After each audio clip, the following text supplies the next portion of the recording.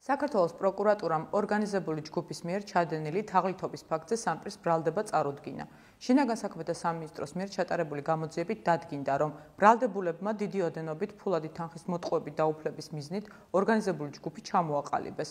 ორგანიზებული ჯგუფის მიერ შემუშავებული დანაშაულებრივი სქემის მიხედვით თითქოს და სახელმწიფო სამინისტროების, მუნიციპალიტეტების, სხვადასხვა ორგანიზაციების მეშვეობით და ევროპული ქვეყნების ფინანსური მხარდაჭერით უსახლკარო და დევნილი სტატუსის სპეციალური სოციალური საჭიროების მქონე, ასევე სოციალურად დაუცველი პირების და ემიგრანტების მოძიებას ახდენდა, რათა მათთვის ბინები თბილისში და ბათუმში მდებარე შპს ორბი ჯგუფის საცხოვრებელ კომპლექსში, ასევე დაბა ბაკურიანში და კურორტ საირმეში სიმბოლურ ფასად გადაეცა.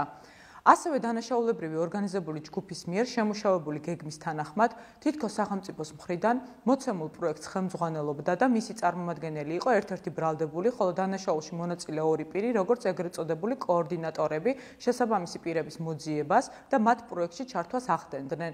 დანაშაულებრივი ჯგუფის წევრები სხვადასხვა ოდენობის თანხის გადახდის სანაცვლოდ მოქალაქეებს აჩვენებდნენ წინასწარ ნაქირავებ ბინებს, როგორც მათთვის სახელმწიფოს მიერ გადასაცემ ქონებას და არწმუნებდნენ, რომ საჯარო რეესტრის ეროვნულ სააგენტოში მათ სახელზე უძრავი ქონების რეგისტრაცია მოგვიანებით მოხდებოდა.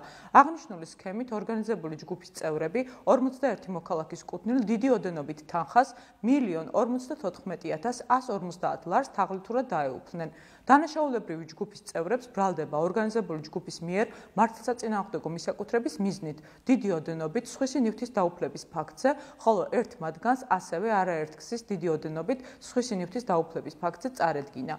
დანაშაული სასჯელის სახე და ზომად 7-დან 10 წლამდე თავისუფლების აღკვეთას ითვალისწინებს. სისხლის სამართლის საქმეზე გამოძიება გრძელდება ორგანიზებულ ჯგუფში მონაწილე სხვა პირების დადგენის მიზნით. საქართველოს პროკურატურა მიმართავს მოქალაქეებს მათ მიმართ განხორციელებული ანალოგიური ქმედების არსებობის შემთხვევაში დაუყოვნებლივ მიმართონ სამართალდამცავ ორგანოებს.